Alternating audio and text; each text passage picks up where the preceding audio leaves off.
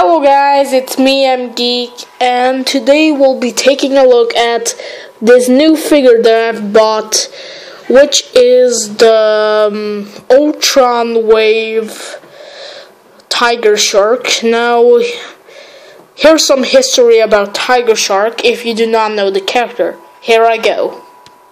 So basically, the story of Tiger Shark is that he was... Uh, basically a really good swimmer. He was one of those guys which was in the Olympics, I think, something like that. And he, and one day he tried to save someone uh, in the sea, but he actually ended up kind of getting killed in the sea by waves were just the waves of the sea just pushing him all around, and there just so happened to be a big co coincidence that there was a lot of boats around, and the waves were just pushing him into the boats all the time until his uh, spine broke.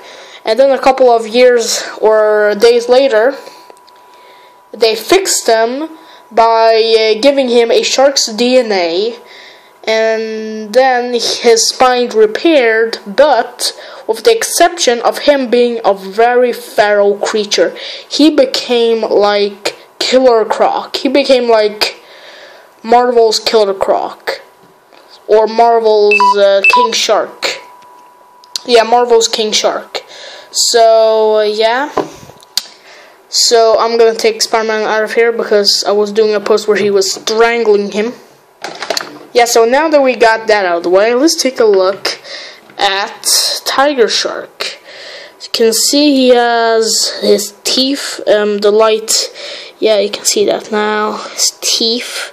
There's some marbling effects on his uh, head, uh, white eyes, his, oh, his head just popped off. Uh, now on camera it looks kind of like a bluish purple, but it's actually a very dark purple so on camera looks different. And he has an orange jumpsuit. This is the not the Hyperion uh, yeah Hyperion body mold. So uh, yeah.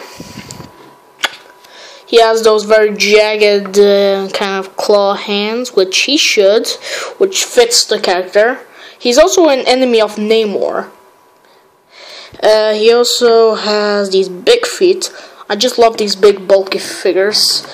And of course the fin and his head wouldn't move up so when I took him out of the packaging. So what I did was that I basically took a hair dryer, hit it up for five minutes, and then I bend this a bit so I could put the head up. So it's worth it. If you really want him to look up, it's worth it to do that. So let's now do the articulation. The head is on a ball joint as you saw so it moves up, down, swivel. The arms are also kind of on the ball joint. They move this far out, this far in, they move up. There's a swivel in the bicep. There's double joint elbow. There's wrist swivel and also it pivots. He has um diaphragm joint. He has a waist swivel. His uh, legs move this far out, this far in, this far forward, not so much back. He has a thigh swivel, double jointed knees, um, a calf, a boot rotation, and his uh, feet move up and down, and an ankle pivot. Yeah, so we're gonna do a comparison to this guy with, um, here he is next to Spider-Man. Here he is next to my custom Batman. And finally, here he is next to the Marvel Legends Bulldozer from the same wave. And I love this wave. And this guy doesn't come with any accessories except the Build-A-Figure part. I do have it. But I can't show it right now because it's on the Ultron figure right now and I can't find it. It's somewhere in my collection. Yeah, but um, I can't show that accessory, but it's basically the same thing as the arm that came with this guy, which I also reviewed. So these two are the only ones I'm rev reviewing in this wave, with a, the exception of Ultron. So yeah, I really do like this figure. He's an awesome figure. I love the fin part, which is obviously the most uh, engaging part about him. I love that he's like um, a shark, half man, half shark hybrid. I just love that part, and uh, he will be appearing in the um, uh, Iron Man show, which I have made already on season three. He will also be appearing in the Spider-Man and the um, Green Goblin show that I'm gonna make. So stay tuned for that. He will be coming next season of Iron Man.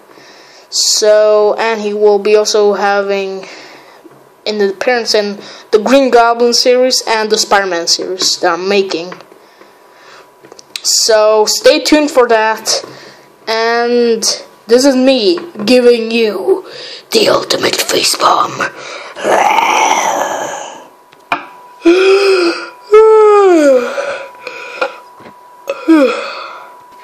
oh, I'm tired.